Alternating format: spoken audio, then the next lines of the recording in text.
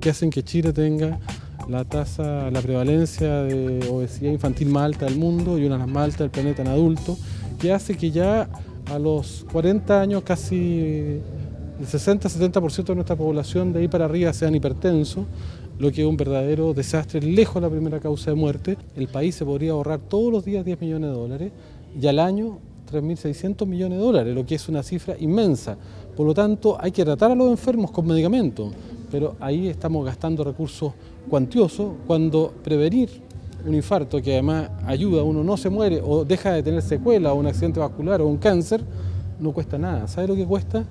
Dejar de comer sal, grasa y azúcar, dejar, que, dejar de ser rehenes de los que nos venden sal, grasa y azúcar escondida a través de la publicidad, significa comer fruta y verdura y significa hacer todos los días al menos media hora de actividad física que se puede hacer hasta caminando. Siguen aumentando su gasto en salud de la forma que lo están haciendo y en vez de eso ponen en prevención, van a terminar llevándose todo el dinero y los países van a quebrar.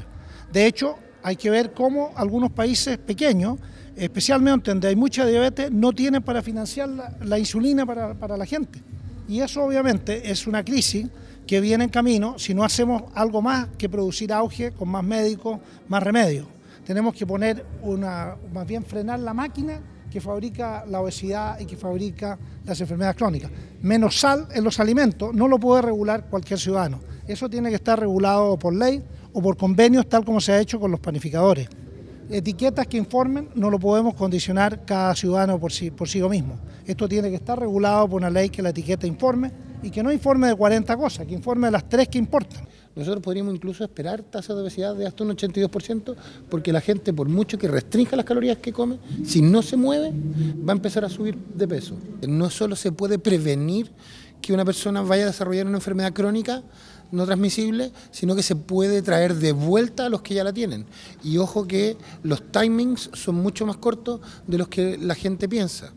Las experiencias en niveles en países desarrollados eh, han demostrado incluso ahorros de hasta 900 euros, estamos hablando de 650 mil, 700 mil pesos por persona por año, solamente haciendo actividad física contra los remedios. O sea, ese, ahí están las lucas.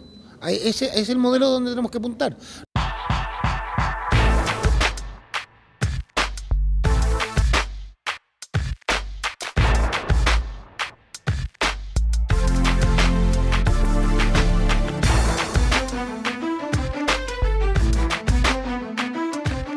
Quisimos instaurar kioscos saludables en donde se puede vender un 80% de alimentos con bajo aporte calórico versus los kioscos tradicionales que venden mucha chatarra y crear un espacio saludable en donde los niños puedan comer, jugar, divertirse en el recreo y así hemos bajado bastante los índices de obesidad en los colegios.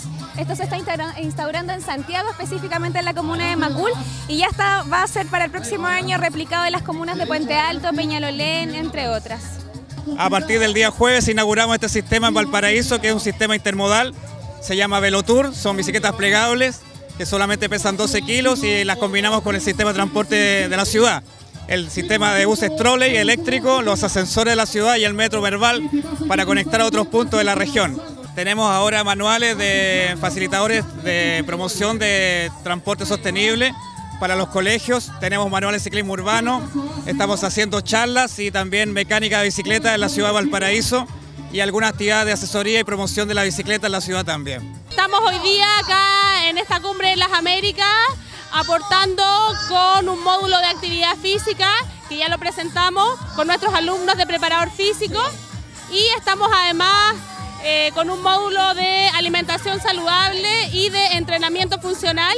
Lo que ustedes pueden ver ver ahí son alumnos de la carrera que están entrenando de, diferentes maneras con el material del entrenamiento funcional. A nosotros nos interesa convocar a la población, que la gente se motive, que la gente realmente observe los beneficios de la actividad física y vea que puede cambiar eh, el estilo de vida y puede disminuir las enfermedades crónicas no transmisibles. Nosotros tenemos ya 19 años trabajando eh, hay un grupo de agricultores muy grande que ya está asociado a Tierra Viva. Todo está certificado orgánico en base a la certificación participativa.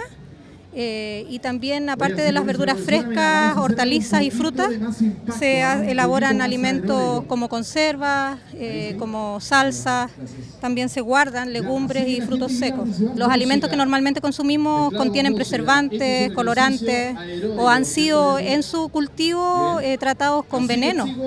Y realmente la agricultura orgánica es la que rescata una alimentación realmente saludable.